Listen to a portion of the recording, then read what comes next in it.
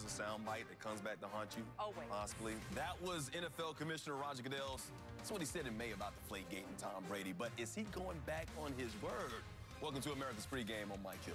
And I'm Molly McGrath. We've got developing news on the Deflategate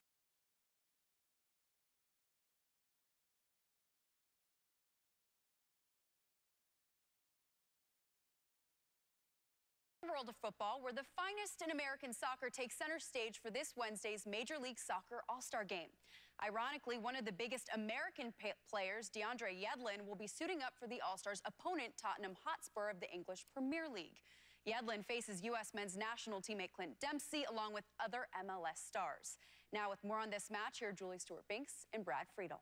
You can make the argument that no one in sports is having a hotter summer than Kyle Busch.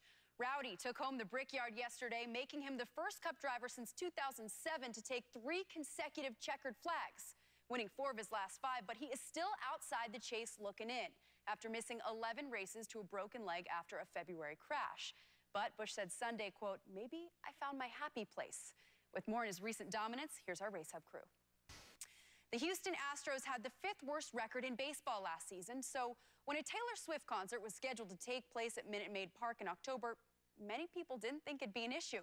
But now Houston holds the top spot in the AL wildcard race and sits just one game shy of the AL West leading Angels. But there will be no bad blood between T Swift Comeback stories right there. Molly, I've heard of athletes getting banned from places for many different reasons. Uh, some we can't mention here, but no. I don't think I've ever heard of what comeback stories right there. Molly, I've heard of athletes getting banned from places for many different reasons. Uh, some we can't mention here, but no. I don't think I've ever heard of what comeback stories right there. Molly, I've heard of athletes getting banned from places for many different reasons. Uh, some we can't mention here, but no. I don't think I've ever heard of what